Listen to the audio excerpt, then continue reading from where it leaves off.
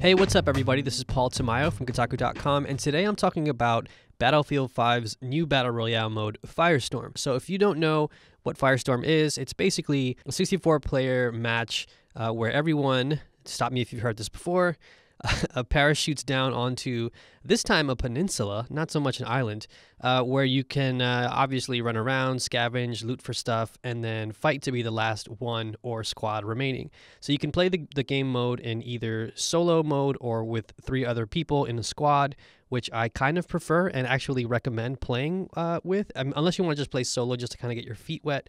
But what makes this mode unique is the fact that since it's a battlefield game, it's got destruction, it's got vehicles, and it's got a huge, huge map that looks really, really good. So you can find things like transport vehicles, tanks, a bunch of other things, so even like a prototype helicopter. So the cool thing about Halvoy is that it's currently the largest Battlefield 5 map. So the uh, and the map itself is characterized by 12 sort of like landmark areas that, you know, obviously have really good loot there. It's just kind of where you want to drop, where your eye kind of takes you once you pull up the map in game. Now, one thing that I find fascinating is that uh, while you're downed, um, you can actually crawl around with, assuming you found a pistol with some ammo, you can crawl around and actually like take some shots if you need to like, you know, provide a little bit of defense or cover while a teammate is trying to revive you. I've run into a couple situations where my teammates have failed to uh, successfully um, eliminate a player, an, an, opposing player, after they've already downed them, thinking like, oh, they'll be fine.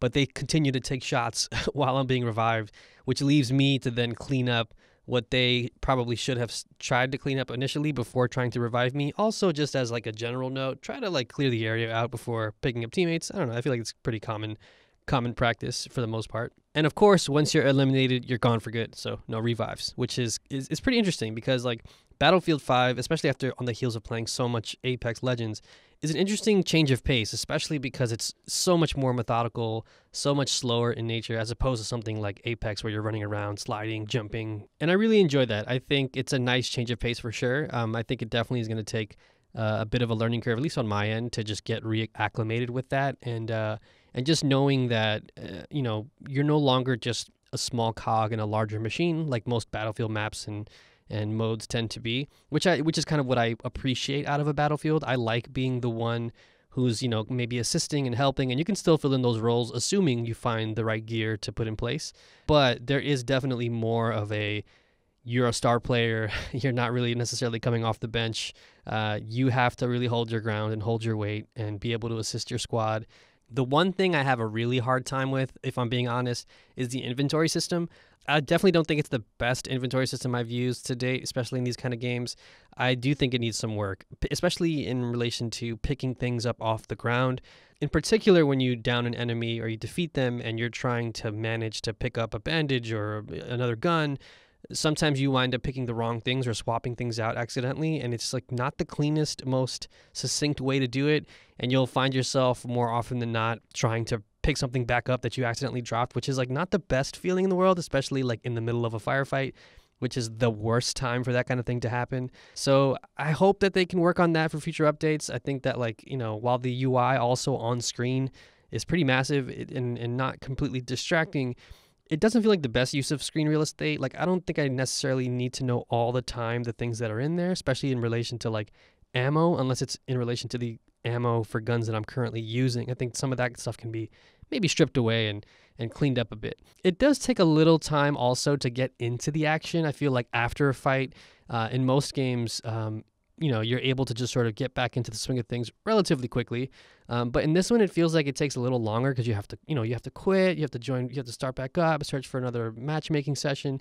You could stay in that round uh, uh, you know if you wanted to but I'll, I'll be honest a lot of times i don't make it to like the top 10 or whatever so it doesn't really make sense for me to just be hanging around watching a, a squad or especially once i died because it's like unless I'm, unless those are actually like my friends and I'm, I'm going to be playing with them after this round, doesn't make much sense for me to stick around and hang out. So I just more often than not just dip and try to get into another match. I think that can be sped up if if possible.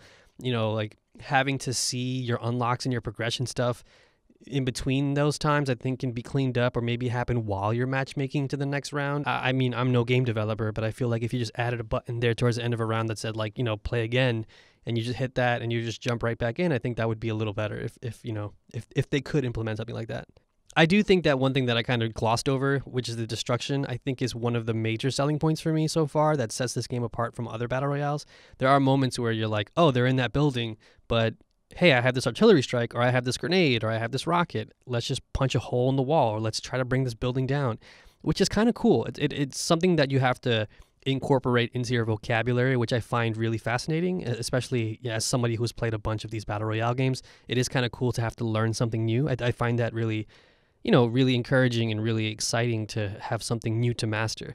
But um, for the most part, I'm not loving Firestorm. Uh, I'm having some fun with it. I have, have some moments. I think it definitely shines if you're in a party with people who like to communicate and talk on comms and point things out and be generally helpful. But otherwise, I mean, like most battle royales, I think if you're you're not really playing it with folks on on on chat on mic, it can be kind of dull in in a lot of ways. And I think sometimes the lead up and and build up to the final moments of a battle royale game for me for the most part always feel like this heightened thing where my heart's racing and i feel like and that definitely still happens here of course because the stakes are high and you know you don't get a revive but i feel like more often than not the end results kind of feel a little anticlimactic even I, have seen you know streamers and, and other youtubers who have been playing the game i've seen them win and even just like the win screen and stuff doesn't feel as like cool i don't know that's just kind of my personal opinion but speeding a couple things up, making things a little more clear in the, on the UI side could really, really help. But for the most part, I'm not sure that I'm going to rush back to this, no pun intended. Uh, I do want to spend more time with it, obviously, and, and get a feel for it and see how it evolves over time. But to be honest, right now, it's definitely not my first pick um, in terms of a battle royale game. It's it's definitely a cool game. I think if some of my friends wanted to check it out, I might check it out with them. But I kind of rather play other games instead, especially right now with so many things out. I'm not sure this one made enough of a case for itself, at least not yet. So I'm going to play some more. I'm curious to know what you all think. Please let me know in the comments. I'm really genuinely am curious to see what fellow players of Battlefield are thinking about this game. Or maybe you don't even have Battlefield and you're curious in buying it for Firestorm. Uh, let me know what you think in the comments, and uh, I'll see you around. Peace.